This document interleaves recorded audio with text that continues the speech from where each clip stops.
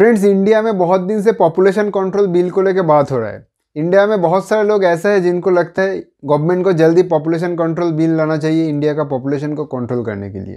तो दोस्तों, आज मैं इस वीडियो में चाइना का एग्ज़ाम्पल दूँगा और इस वीडियो के बाद आप खुद ही डिसाइड करेंगे, क्या इंडिया को पॉपुलेशन कंट्रोल बिल लाना चाहिए या नहीं। दोस्तों, यहाँ पे मैं चाइना का एग्ज़ाम्पल इसलिए दे रहा हूँ क्योंकि चाइना का पॉपुलेशन भी लगभग इंडिया जैसा ही है और हमेशा इंडिया के साथ चाइना के कंपेरिजन होते आ रहा है।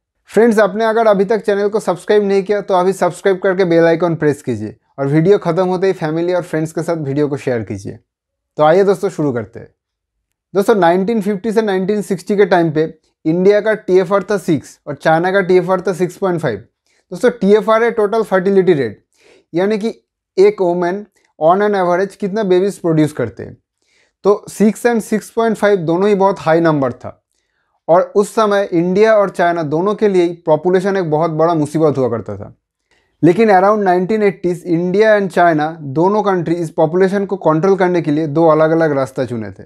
जहाँ पे चाइना ने 1980 में वन चाइल्ड पॉलिसी लाया था, यानी कि एक कपल एक से ज़्यादा बच्चा नहीं ले पाएगा। अगर लेगा तो उस फैमिली को गवर्नमेंट से जितना ज़्यादा फैसिलिटीज़ और अलग सा बेनिफिट मिलता है, वो सब बंद हो जाएगा। लेकिन इंडिया ने यहाँ पे दूसरा रास्ता चुना था। इंडिया यहाँ पे सोशल अवेयरनेस शुरू किया था।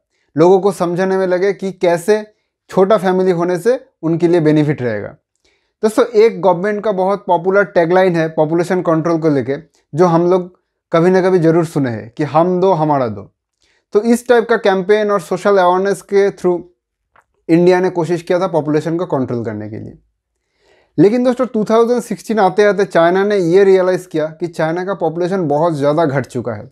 और चाइना उस समय वन चाइल्ड पॉलिसी को ख़त्म करके टू चाइल्ड पॉलिसी लाया था। दोस्तों, एक एस्टिमेट्स ये बताता है 1980 से लेकर 2016 तक चाइना ने 40 करोड़ बेबीज़ को जन्म लेने से रोका था।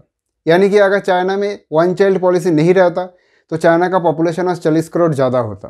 दोस्तों, आज मैं इस बात को इसलिए बोल रहा हूँ क्योंकि लास्ट कुछ दिनों के अंदर दो बहुत इंपॉर्टेंट चीज़ें सामने आए हैं। दोस्तों, एक तो इंडिया का प्रेजेंट टी है टू और ये डेटा कुछ दिन पहले NFHS National Family Health Survey ने पब्लिश किया था। दोस्तों नॉर्मली माना जाता है कि 2.1 एक स्टैंडर्ड टीएफआर है। अगर टी एफ़ रहेगा, इसका मतलब एक कंट्री का या फिर एक स्टेट का जो पॉपुलेशन है, वो स्टेबलाइज्ड हो गया। इसका मतलब है जिस तेज़ी से एजिंग पॉपुलेशन ग्रो करेगा, उसी तेज़ी से न्यू बॉर्न भी होगा। तो पॉपुलेशन स्टेबलाइज्ड हो गया। लेकिन अगर 2.1 से नीचे रहता है टीएफआर तो इसका मतलब धीरे धीरे उस कंट्री का पॉपुलेशन घटेगा। तो इंडिया का पॉपुलेशन अभी टू है। इसका मतलब ये आप कह सकते हैं कि ऑलमोस्ट स्टेबलाइज्ड ही है। और दोस्तों, दूसरा बात यह है कि चाइना ने अब थ्री चाइल्ड पॉलिसी को लॉन्च कर दिया है। ये देखते हुए कि चाइना का एजिंग पॉपुलेशन बहुत तेज़ी से बढ़ रहा है। और चाइना का एक न्यूज़पेपर ने यह दावा किया कि चाइना का प्रेजेंट टी है वन जो बहुत ही कम है। इसका मतलब दोस्तों, ये भी हो सकता है कि कुछ साल बाद चाइना में जो फैक्ट्रीज है, वहाँ पे काम करने के लिए मैन पावर ना मिले। क्योंकि हम सब जानते हैं कि चाइना एक मैन्युफैक्चरिंग जाइंट है। तो वहाँ पे फैक्ट्रीज में काम करने के लिए बहुत सारा आदमी चाहिए। तो अगर पॉपुलेशन धीरे धीरे घट जाएगा तो वहाँ पे काम करने के लिए लोग नहीं मिलेगा।